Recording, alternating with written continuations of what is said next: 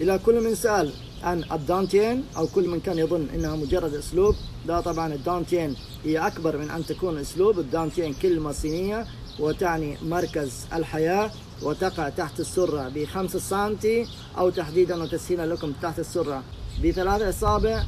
وتعرف باللغة اليابانية دانتين أو كما نعرفها فنون نينجا الهارا ولها ثلاثة نقاط.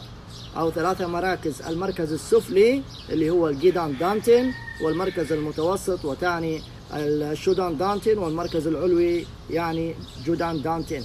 ومراكزها المركز الأول السفلي يقع زي ما قلت لكم تحت السرة بثلاثة أصابع والمركز المتوسط يقع في منتصف بمستوى القلب في منتصف الصدر والمستوى الثالث يقع بين الحاجبين.